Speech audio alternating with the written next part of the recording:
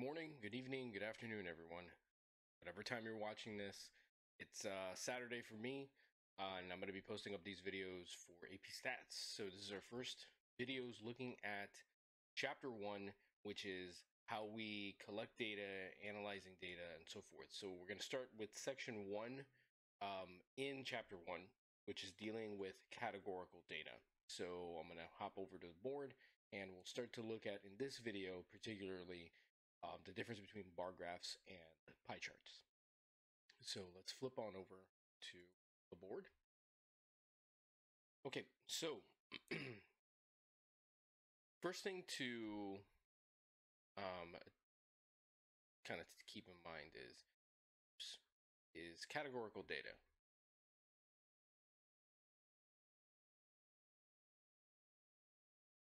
So categorical data is going to be data that is not or cannot be numerically expressed. So examples could be stuff like color, or we could say um, music, genre,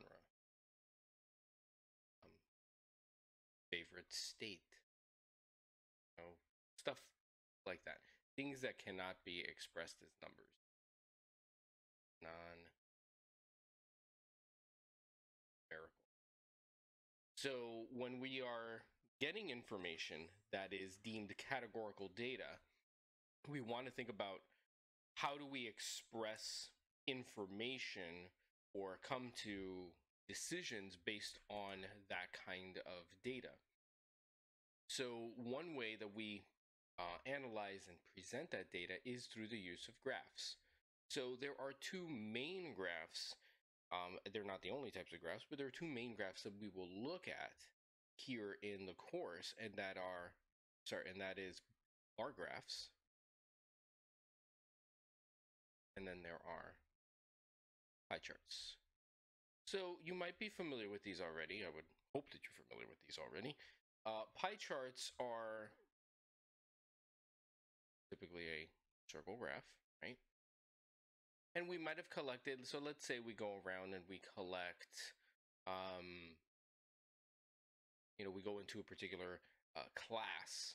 So let's say we go into the senior class at PTS and we start to collect what their um, choices are in, or sorry, or what their final grades are for junior year.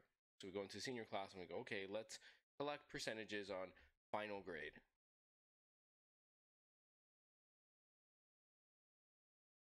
Of junior year. So obviously there are four options. Maybe they got an A, a B, a C, a D, and oh, God forbid, maybe somebody got an F. All right. But those are all the options that exist. So then we would get counts and we might say okay there's a senior class. Let's just say for our example to keep it simple there's a hundred seniors. Okay and i'm going to write how many of the seniors got each of these. So let's say um 40 of the seniors got an a then we had 30 got a b um 20 got a C, so that's already 70, 80, 90. And let's say 6 got a D, and then finally 4 special seniors got an F. So in making the pie chart, obviously the pie would represent the whole.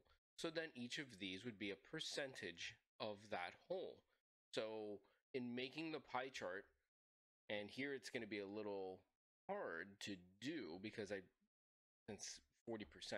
So this right here, you'd have to represent it as part of pie chart. So let's say this represents the A, then 30% would be a little smaller sliver of that. So let's say that's this, so this B, C would be something like this, and then D and F.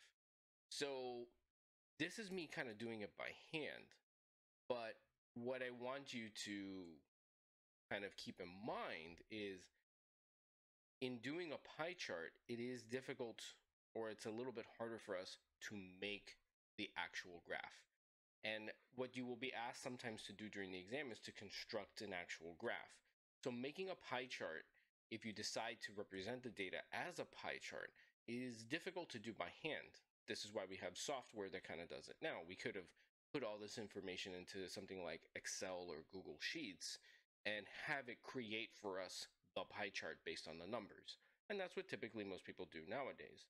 Um, but to do it by hand, especially when it's not nice numbers, like if it were 50%, oh, that's easy enough to draw because it's half of the circle.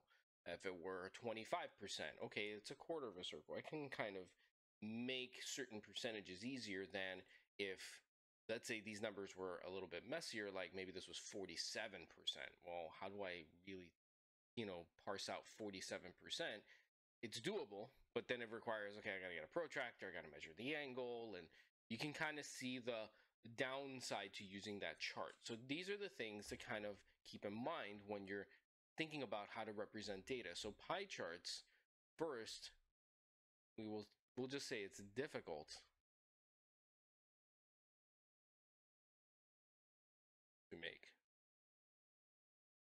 And we'll say accurate.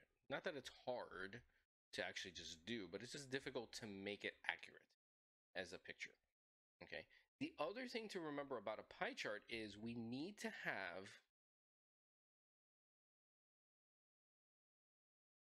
the whole data. So, and by that, what I mean is if you look at what we're measuring, we're saying the final grades of juniors. There's only five possibilities. That's everything that could possibly happen. If we were to, let's say, take the senior class, and instead of asking for the final grades of juniors, we would say, okay, I'm going to say favorite color. Okay.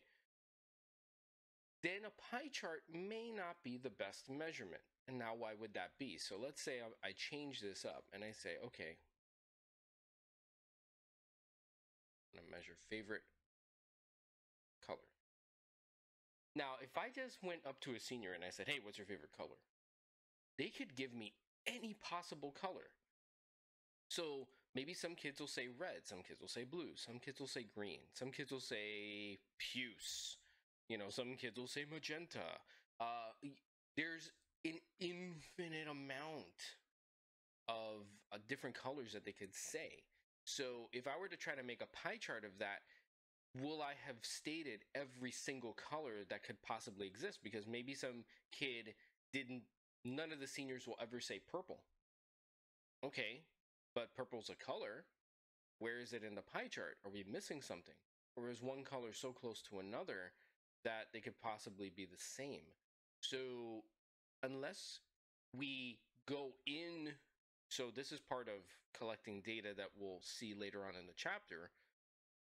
If we wanted to make a pie chart based on favorite color, I would have to approach a senior and say, which of the following is your favorite color? So if I prescribed certain colors and I said, okay, you can only pick from red, blue, uh, green, and yellow then we could make a pie chart because then, okay, the seniors can only pick this. There isn't a fifth option. They can't do a write in option.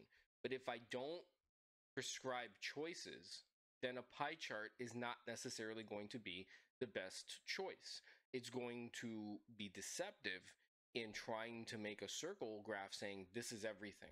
Because when we make that circle graph, we're saying this is the end, these are all the possible choices. So if we were to make, let's say, if I were to go over and say, hey, favorite color, but I don't prescribe choices for the seniors, they just kind of rattle off a color that they like, then a bar graph might be a better uh, representation. So those you might be familiar with. So a bar graph, there's two axes. So the vertical axes will usually represent your counts, or you might show it as a percentage.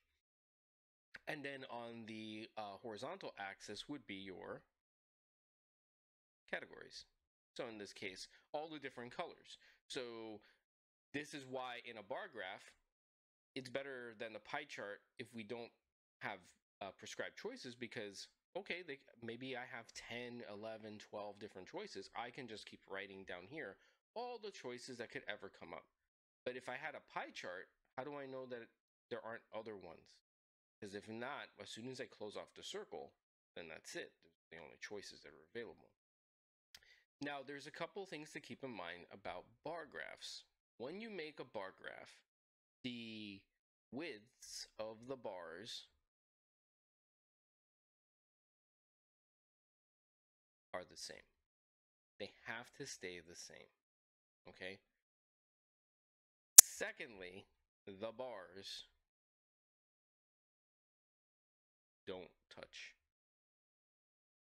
And that's going to become later uh, later on important when we start talking about quantitative data. So if I were to collect information, so the different colors, so I would make sure that all the bars are exactly the same width and they don't touch. Okay. So I might have something like so. And since this is categorical data, you can arrange the bars in whatever order you want. So maybe this bar represents the number of students that like red. This one represents blue. This represents green. This represents yellow, and so on. So the bars all have the same width and they don't touch if they were to touch, the reason why we don't want them to touch is if they were to touch, then that would make it look like in some way the blue transitions into the green. Okay, like oh, there's it goes from here to here. If they touched, then that kind of implies well, then there's uh, between this number and that number, uh, were the number of people that like blue green. No, because these bars can be ordered in whichever order we want to put them in. So that's why we don't want the bars to touch. The widths of the bars need to remain the same because if we were to make the bars of varying widths, then it makes it deceptive in terms of the area because our eyes will look at the graph and go, well, that's a bigger space than this other bar, so that must mean that there's more things there. So, for example, if I were to make this red bar, let's say it looked like that, now, when you look at this graph, even though I'm measuring is like the count, this has a lower count than the other bars. The fact that this bar is twice as wide draws my attention to it, and I would kind of lean towards being influenced that red, for some reason, is more because we are, nat- you know, by nature we're visual creatures. So we would look at that. I would be less inclined to kind of read, well, what does the vertical axis mean? I would just look and go, big bar must be more. No, it's only the vertical. Nothing about the horizontal is is making any difference because in the horizontal we're just measuring is categories. Okay. Now, as we so this really is the difference between bar graphs and pie charts. So there's pros and cons to each one and when you'll want to use it. So that does it for this first part in chapter one and in looking at categorical data.